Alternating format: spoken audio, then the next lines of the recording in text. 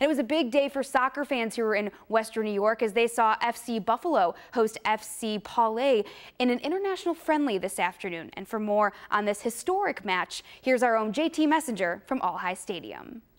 Saturday afternoon, All High Stadium welcomed a unique guest.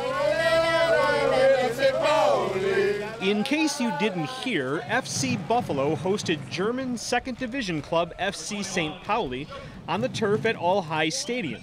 That means the noise, the banners, the smoke, and of course, the soccer. St. Pauli's looking good. I don't know how about FC Buffalo though. Right now, the TSR is at its mellowest form.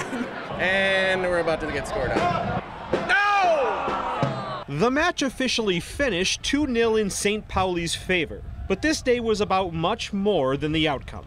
I don't know how we did it, To frankly. Um, the work has been incredible. Uh, just to have them here for this day was about the same amount of work as a whole season for us. So it's rewarding to have such a great crowd. Against a club with an eye on much more than the result on the pitch. For us, it is important as FC St. Pauli to tour internationally because we want to spread our values to to the world and to the people who are supporting us. We won no cups so far, but we are very famous in German and international soccer for having strong values on anti-discrimination and um, um, anti-sexism, anti-racism. It's no fascism, no sexism, no homophobia, and no racism, and uh, that pretty much sums it up. We really think that this world needs to be a tolerant and respectful place for everyone.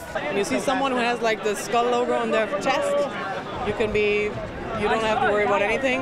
They're on your side. FC Buffalo, we we want to be like St. Pauli. We want to be a club that people can be proud of, not just for the way we play on the field, but for how we conduct ourselves and how we represent our country and our city. And um, I mean, we're just so touched today. It's an incredibly emotional day.